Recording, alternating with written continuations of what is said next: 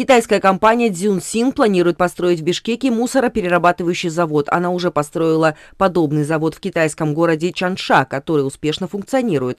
С работой предприятия на месте ознакомилась делегация мэрии Бишкека.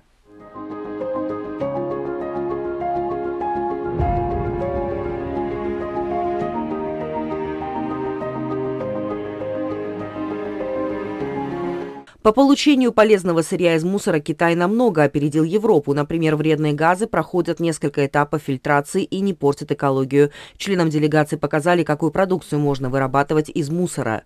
мына мусордун калдыгын топтолуп ошондон саркынды суу пайда болот от мусора остается вот эта жидкость, так называемый фильтрат. На заводе освоена система очистки этой воды. Очищенная вода – это техническая вода. Ее пить нельзя, но можно использовать в бытовых целях. Она чище даже нашей арычной воды.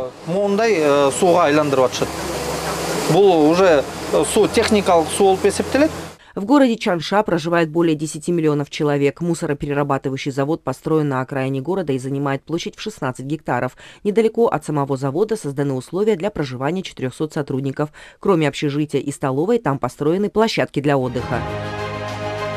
Весь мусор, который выходит из города, который в пять раз больше Бишкека, не просто сжигается, а перерабатывается. С его помощью вырабатываются свет и газ.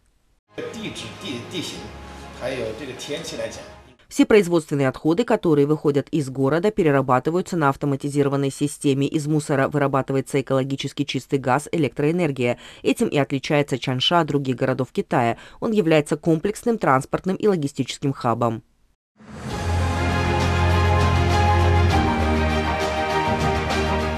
Китайская кухня славится своим разнообразием, при этом все отходы из кафе и ресторанов перерабатываются. Все они доставляются на завод, где проходят переработку.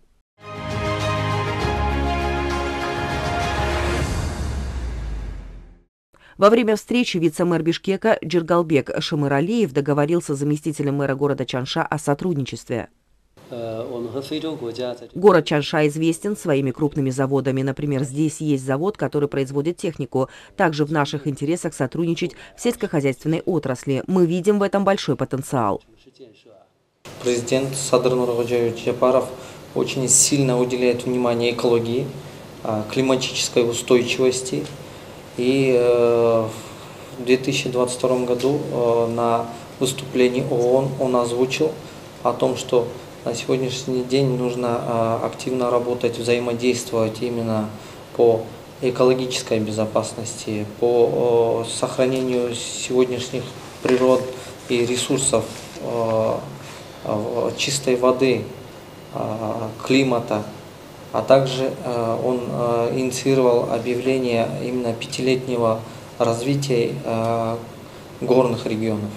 В рамках встречи стороны также обсудили сотрудничество в торгово-экономической, культурной и социальной сферах. Кроме этого, обсуждены возможности улучшения инфраструктуры Бишкека с использованием технологий города Чанша.